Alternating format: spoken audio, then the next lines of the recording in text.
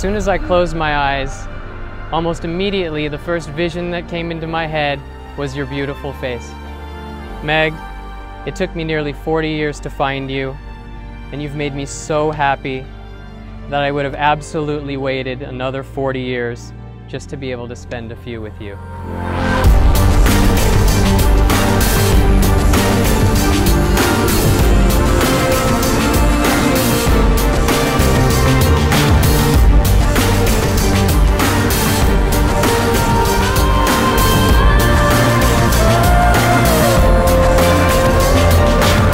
These are the hands of your best friend, full of love for you on your wedding day.